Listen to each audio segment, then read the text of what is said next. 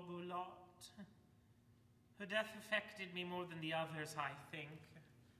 Uh, possibly because I knew her when we were. Uh, uh, well.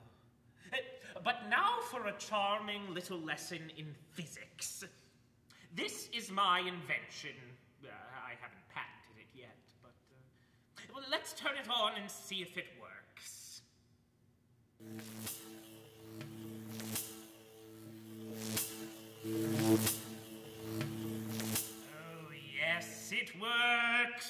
It's alive! Oh, Ronnie, how can I be alive? You just said the poison in the glass. There wasn't any poison. It was just a narcotic. You weren't dead, just sleeping. You mean I'm not dead? No more dead than the five other wives of Bluebeard. The other wives? You thought they were. That's what everyone thought. Well, they were mistaken. Three years ago, my Lord Bluebeard ordered me to kill his first wife. Oh, That was Eloise. But I was too humane. I contented myself with administering a drug which only killed her for half an hour. Alive? I can't believe I'm alive. Life is so wonderful. Yes.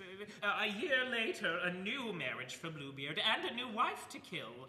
But once again, the humane Popolani. I had to keep the two of them and brave Bluebeard's wrath. And then there was a third and a fourth, and last a fifth wife, and always the kind, humane Popolani. I have resolved this very evening to send this whole harem away and denounce the indelicate conduct of my master to his majesty King Bobesh. I see. But where are the five other wives? Why, here. Ugh. How can they stand the cold? What are they doing now? They're waiting for you. What do you mean, waiting for me? Ah, they've just heard the sound of the hunting horn of their. Uh, of your husband.